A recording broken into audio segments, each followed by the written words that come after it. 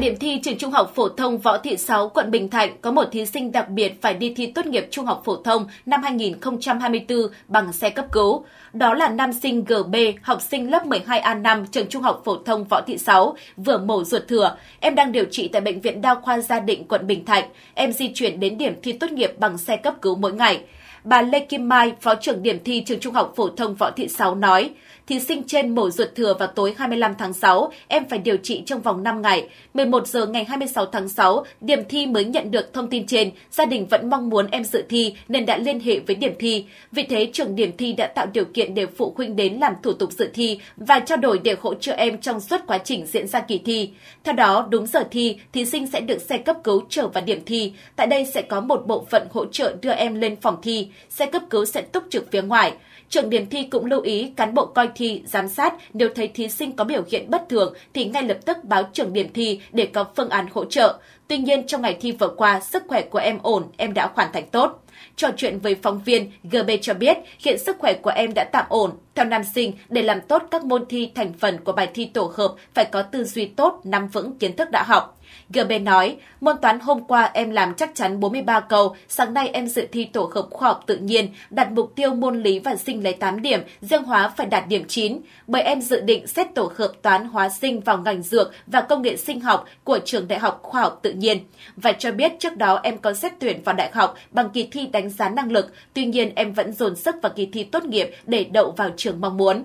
Theo thống kê của Bộ Giáo dục và Đào tạo, năm nay cả nước có hơn 1 triệu 071.395 thí sinh dự thi tốt nghiệp trung học phổ thông, tăng khoảng 45.000 thí sinh so với năm trước. Tổng số thí sinh dự thi năm nay có 4% thí sinh tự do. Đặc biệt, kỳ thi tốt nghiệp trung học phổ thông năm nay chỉ có 37% thí sinh đăng ký bài thi khoa học tự nhiên, vật lý, khoa học, sinh học và có đến 63% thí sinh chọn bài thi khoa học xã hội, lịch sử, địa lý, giáo dục công dân, tức hơn 670.000 thí sinh. Thời gian bắt đầu bài thi tổ hợp là 7 giờ 30, mỗi môn thi bài thi tổ hợp kéo dài 50 phút. Thời gian kết thúc môn thi cuối cùng trong bài thi tổ hợp là 10 giờ 25. Kỳ thi tốt nghiệp trung học phổ thông là kỳ thi quan trọng nhất trong suốt 12 năm học, là cột mốc quan trọng với học sinh. Tất cả các em đều chuẩn bị kiến thức và tâm lý tốt nhất để dự thi, nhưng cũng có những thí sinh không may gặp vấn đề về sức khỏe trước ngày thi. Thí sinh Nguyễn Vũ Trọng, học sinh trường cao đẳng xây dựng công trình đô thị ở Hà Nội, là một thí sinh đặc biệt tại điểm thi trường trung học phổ thông Cầu Giấy, quận Cầu Giấy, Hà Nội. Ghi nhận tại điểm thi trường Trung học phổ thông Cầu Giấy, quận Cầu Giấy, Hà Nội, em Nguyễn Vũ Trọng bị tai nạn giao thông cách ngày thi hơn một tuần, vừa phải trải qua ca phẫu thuật cấp cứu, chân phải của Trọng bị bó bột từ đùi xuống tới bàn chân. Chia sẻ tại điểm thi, Nguyễn Vũ Trọng cho biết, Sáng nay em có mặt tại trường cao đẳng xây dựng công trình đô thị Gia Lâm Hà Nội từ rất sớm, sau đó lên xe ô tô của nhà trường cùng thầy cô và các bạn di chuyển tới điểm thi trường Trung học phổ thông Cầu Giấy.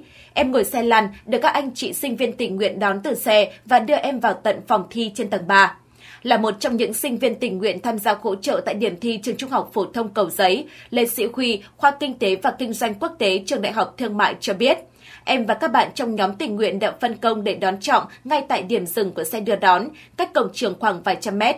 Sau đó, bốn sinh viên tình nguyện cùng đưa Vũ Trọng lên phòng thi. Một bạn xách đồ và xe lăn, hai bạn dìu hai bên, hai bạn đợi chân bị thương. Theo quy định, thí sinh không được cầm điện thoại vào khu vực thi nên chúng em sẽ căn giờ để lên đón em ấy sau khi thi xong.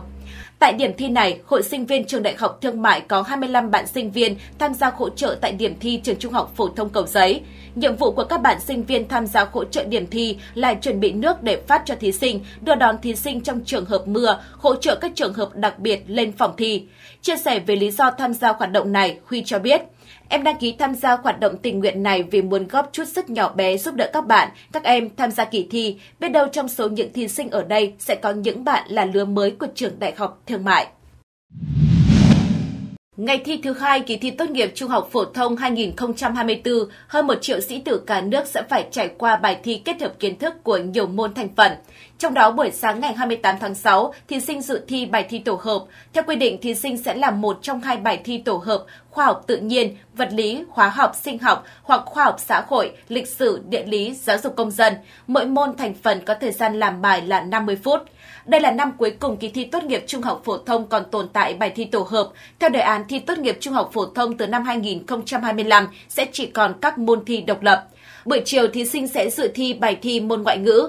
Như hai buổi thi trước, các thí sinh đều tranh thủ đến trường thi từ sớm. Đầu giờ sáng tại Hà Nội đã bắt đầu có nắng nhẹ, tuy nhiên không khí khá trong lành mát mẻ. Có mặt tại điểm thi trường Trung học phổ thông Phan Đình Phùng Hà Nội, các thí sinh đều thận trọng xem qua một lượt kiến thức trước khi mang tài liệu vào phòng để đồ theo đúng quy định.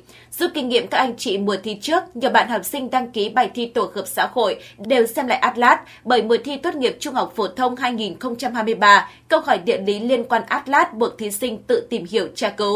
Sau khi đề thi toán được đánh giá có độ phân hóa cao, xuất hiện dạng câu hỏi khó và lạ, mức độ khó ngang ngửa với đề thi năm 2018 mang tính lịch sử, nhiều thí sinh giáo viên cũng dự báo đề thi bài thi tổ hợp sẽ có phân hóa mạnh.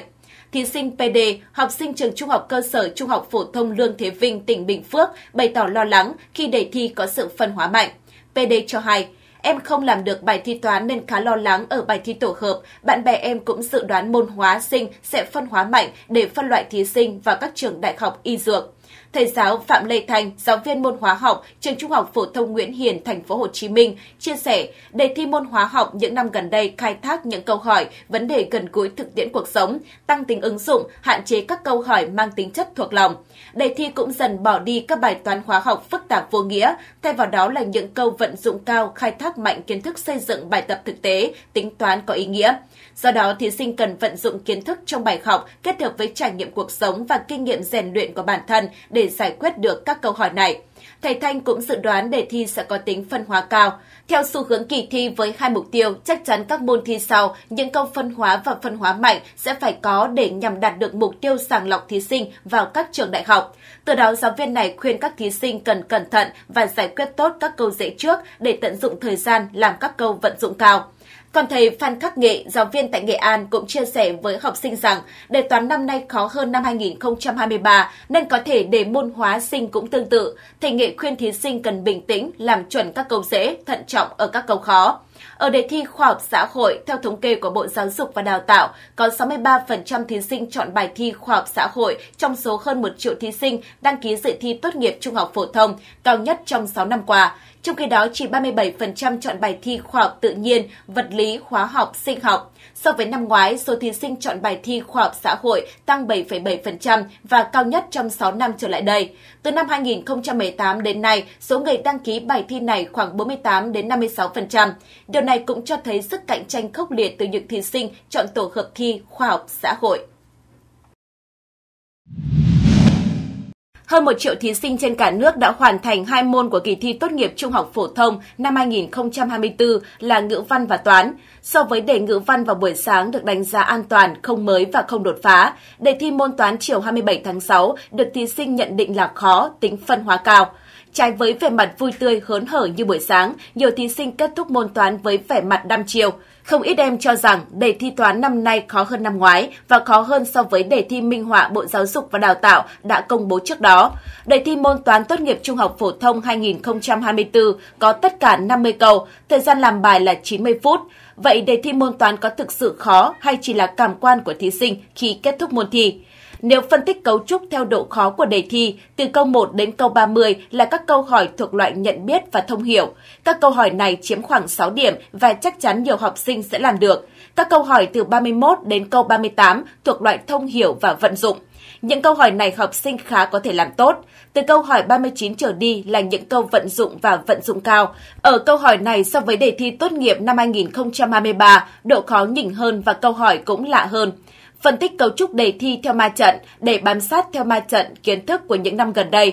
Trong 50 câu hỏi, 45 câu trước thuộc chương trình lớp 12 và 5 câu thuộc chương trình lớp 11. Nội dung câu hỏi của đề bao quát toàn chương trình toán lớp 12. Các câu hỏi cuối đòi hỏi sự huy động nhiều đơn vị kiến thức thuộc các nội dung khác nhau để giải. Phân tích đề thi theo cấu trúc điểm của đề, đi từ cấu trúc theo độ khó, điểm trên 6 sẽ có nhiều thí sinh làm được. Điểm cận 9 trở lên sẽ không nhiều như các năm gần đây do độ khó và lạ của các câu sau có khác biệt hơn. Với đề này, điểm từ 0 đến 4 có lẽ không thể nhiều và điểm 10 cũng sẽ ít hơn năm ngoái. Về khả năng phân hóa của đề, đề thi có cấu trúc theo độ khó tăng dần lên nên điểm sẽ đánh giá được, đáp ứng cho việc xét tốt nghiệp và tuyển sinh đại học. Số câu trung bình và trung bình khá khoảng 30 tới 35 câu, câu khó khoảng 5 đến 7 câu. Vì vậy, thí sinh có nhiều cơ hội lấy điểm xét tốt nghiệp.